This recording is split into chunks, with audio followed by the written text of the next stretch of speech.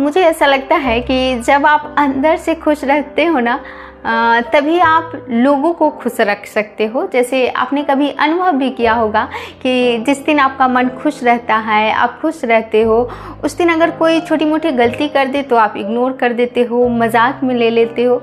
लेकिन जिस दिन आप खुश नहीं रहते हो, आपका मूड ऑफ़ रहता है, ऐसे ही नेगेटिव बातों को सोच सोच के परेशान रहते हो। उस दिन अगर बच्चे के हाथ से एक ग्लास भी गिर जाए ना तो उसको भी दो, चार, पाँच बात सुना देते, एकदम से भड़क जाते हैं, जैसे कि ग्लास नहीं गिरा हो, पता नहीं क्या ही गिर गया हो।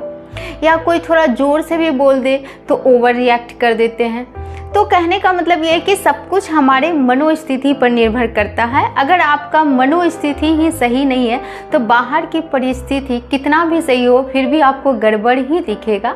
अगर थोड़ा भी गड़बड़ है तो आपको वो बहुत बड़ा बनकर दिखेगा। एकदम से उथल पुथल नज़र आएगा कि सब कुछ गड़बड़ है, सब कुछ कमियाँ ही नज़र आएगी।